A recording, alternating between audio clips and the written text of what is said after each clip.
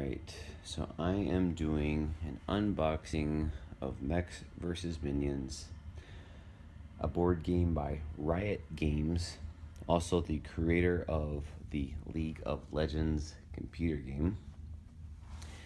This is about $75. Um, as you can see, the box is pretty big. It weighs about 20 pounds, I'd have to guess, which is pretty damn heavy for a board game. So let's open it up and see what's inside. Alright.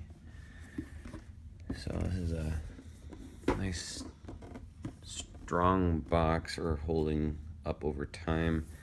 It's got this nice 3D graphic here The box art looks really nice, if you were to ask me. Uh, let's see what's inside here. We have this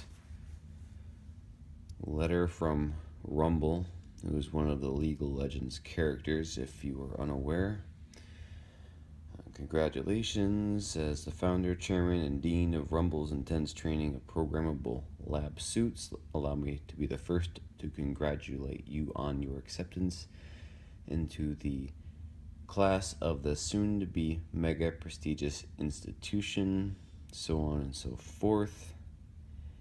Tells you not to open the envelopes until told to do so, including that box on the lower right hand corner there. And as you can see, you have some nice attention to detail on the letter, which is a nice touch. Oh, before I forget, the package also came with this plushie, which I think this is one of Bard's um, spirit things.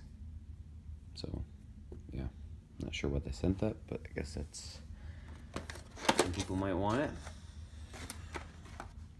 Uh, as you can see, the game has uh, inserts for pretty much everything. It's it's very well organized. Uh, most times when you get a board game, it's just a box with a bunch of stuff sitting loose in it. Where essentially, where whenever you want to play the game, you have to sort everything. So this is this is really nice. Um, I believe these are the player character models. They come pre-painted. There is a, see if I can get this to focus, significant amount of detail on them. So that's Heimerdinger and his Heimerdinger bot. Corki.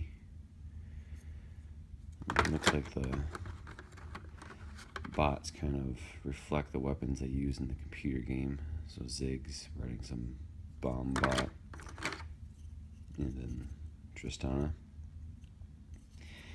This is a two to four player cooperative programming game. Programming as in you choose cards to decide what your guy's going to do versus actually deciding during the round. So you kind of have to plan ahead It's an interesting concept that is kind of rare. One other game I'm aware of that has this is Robo Rally, which I don't own. These are some of the minions. Um, they come with quite a few of them, and you can see that they're uh, very detailed. Now, you can paint these if you want, but they do come with a wash already on the model to give it sort of a 3D effect. Let's see if I can get this focus here. Maybe not. Anyway, they look very nice. They feel nice.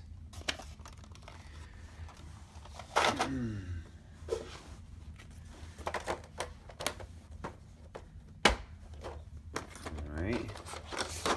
Yet another level game, a lot more minions, and it looks like some tokens.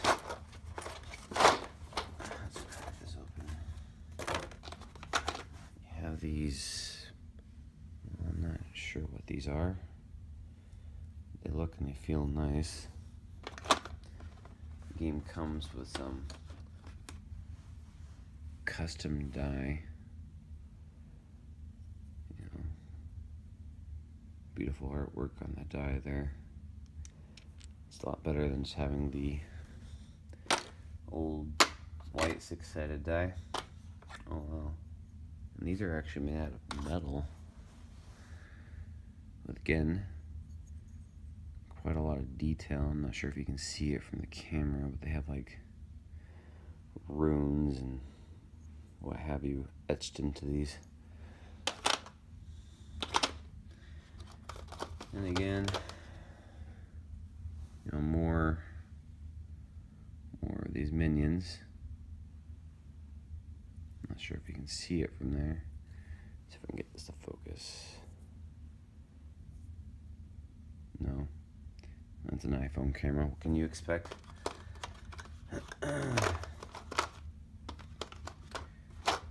Yet, let's actually close this up so nothing falls out.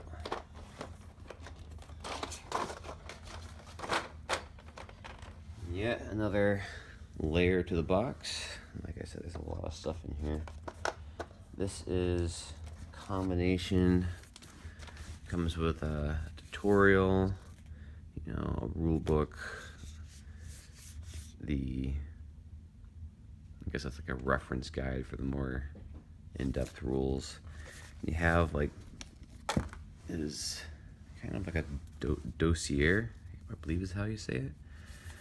But you don't open these envelopes until you've completed so many missions, as the game is played sort of in sequence in a campaign style and you're not supposed to know the contents of these envelopes and folders until you reach that point in the game, which is pretty cool.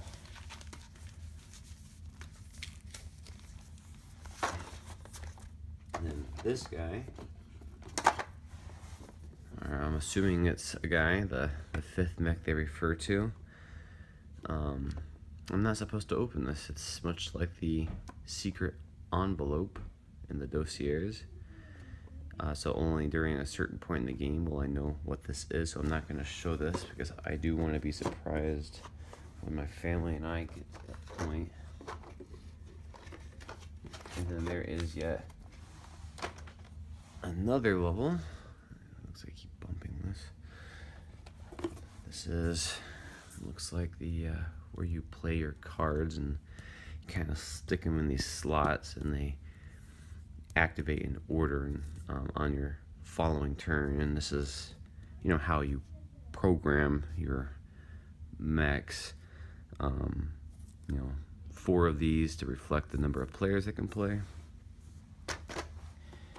And you have playing cards for which you have inserts for as well. You know, has really great card art. It looks like there's three card inserts, so I imagine these sort into three piles, and that way you can keep them sorted once you start playing. Um, nice, uh, nicely detailed hourglass. As you can see, it has you know inscriptions and runes and what have you. So uh, there must be some kind of real-time component to the game, which is pretty cool have this thing that looks like some kind of bomb. I'm not quite sure how you use it, but it does, again, like everything else in this box, it is very detailed. And these are some of the boards that you're going to be using to play the game. You know, great artwork.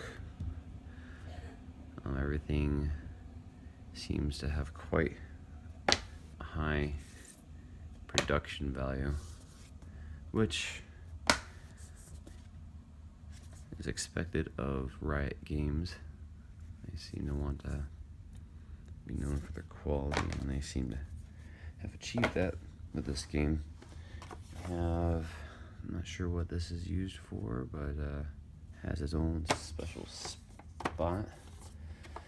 Believe from what I remember from watching other videos, this is like the start tile.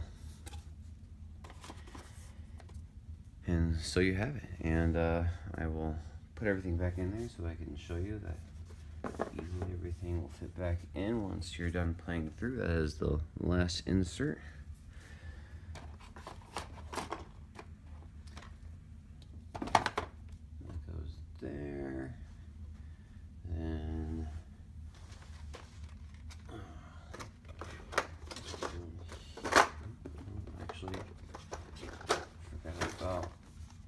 Board.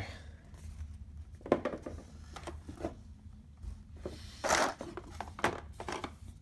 just it just fits right in. I mean, like I said, most board games you get, it's, it's just a big box. where Everything's in there loosely. You don't have this kind of order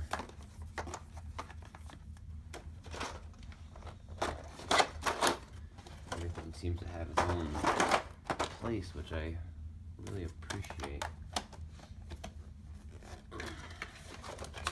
Since everything snaps shut, even when you move the game box, it's going to more or less stay in its place. And there you have it.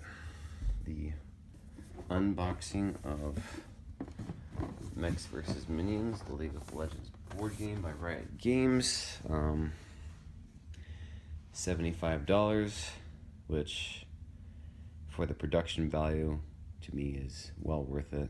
Um, I've bought plenty of games around 40 to $50 where you get you know a quarter of this production value if you're lucky and typically none of the inserts. Um, so yeah there you have it. If you have any questions let me know. Mechs vs Minions